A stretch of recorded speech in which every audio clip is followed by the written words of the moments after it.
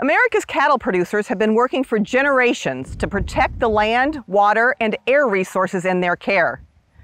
One place that knows a lot about this is the Kempfer Cattle Company.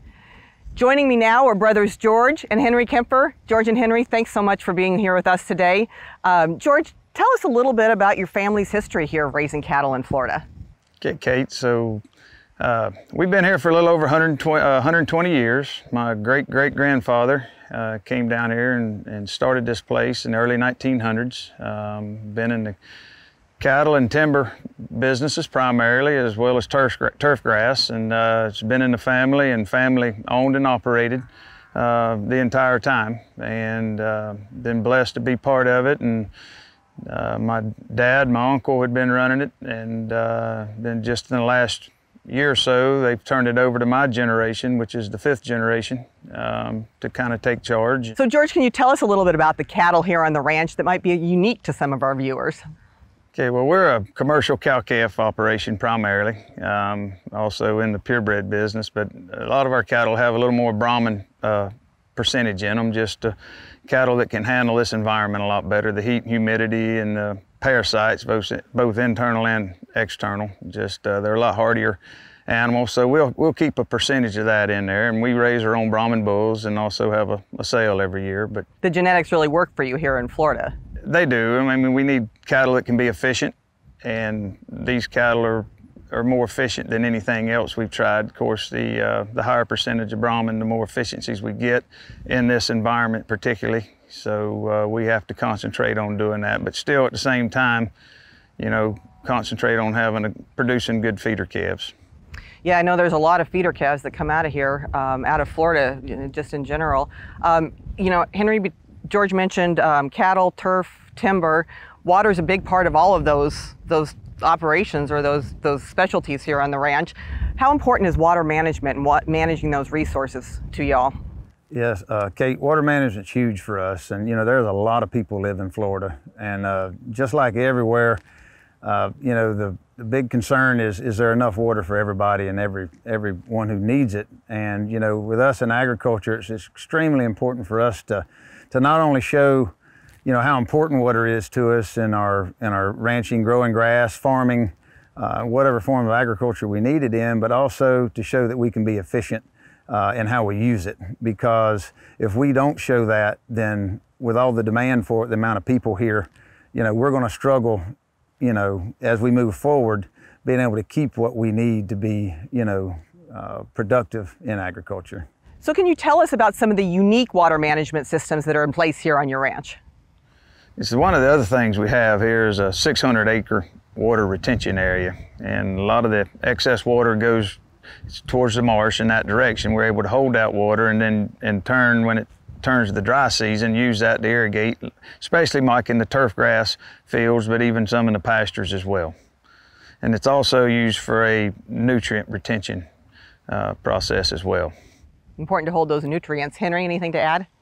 Yeah, you know, we do have a big swamp that runs through the property that, uh, you know, 300 square miles of land drain into this swamp, and it's actually the second largest uh, tributary to the St. Johns River. So, uh, you know, we have a lot of water run through here, and it it uh, it does back up just a little bit. You know, the the uh, level of the St. Johns River right here outside of Melbourne is only 17 feet above sea level, and it's one of the very few rivers in the world that runs north and it goes all the way to Jacksonville before it hits the ocean. So as you can imagine, at only 17 feet there, there's not a lot of drop in it between here and uh, in Jacksonville. So uh, we, the water backs up quite a bit right here certain times of the year, but uh, that swamp works as a really great uh, source for uh, a resource for, you know, filtering that water out uh, going to the river.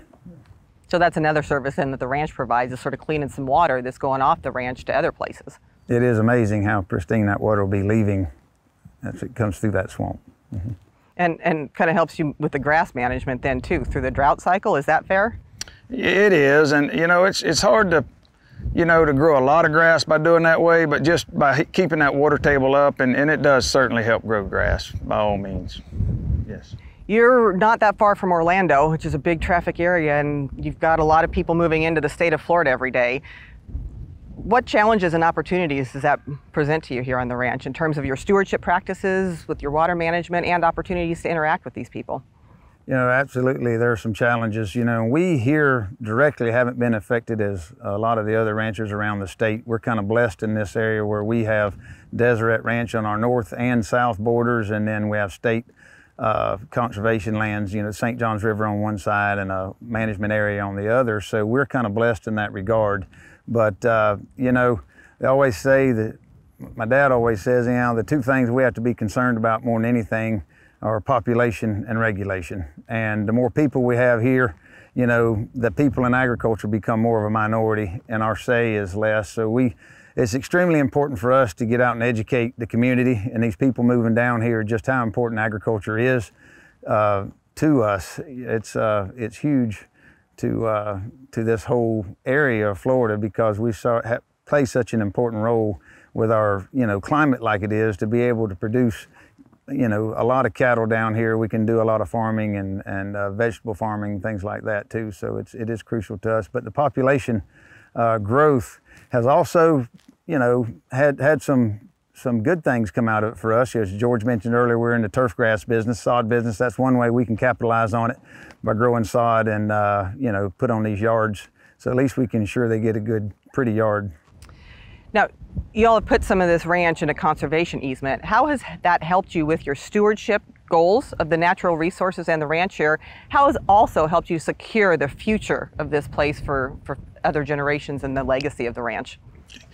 Yeah, so in 1998, we started our first conservation easement project, and uh, you know we don't we don't ever want to see this land develop. We want to we want to keep it in production agriculture. We want to keep it as pristine as we can, and putting houses on it's certainly the last thing we ever want to see happen. Any kind of development, and you know we look forward to to continuing this, and we don't want to be the generation that turns it over to something else. And we are now uh, have applied for another conservation easement program, which is the Rural Family Act, uh, Family Lands deal, and hopefully we'll know something before the end of the year whether or not that goes through. But either way, whether it does or not, we're going to continue to do what we can to preserve the place, as is the next generations. Everybody, this is special. This is home and we will continue to do what we can to keep it in in agriculture for many generations to come.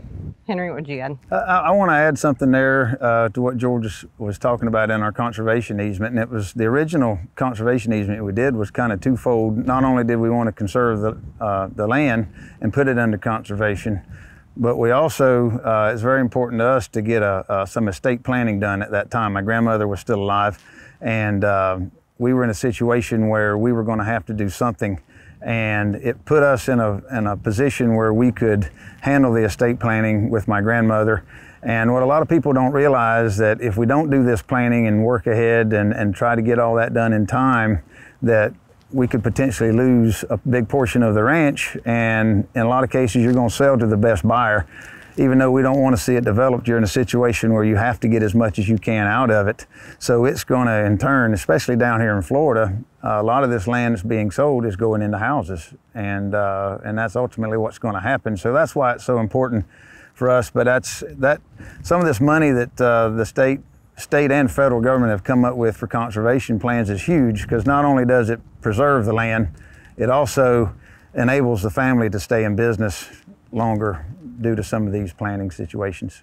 So it's it's really good not only for you as a family to manage some of those tricky type of generational transfer type of issues, but it also keeps this place open and, uh, and, and maintaining a really healthy ecosystem for the environment for the people coming into Florida to, to enjoy wildlife too.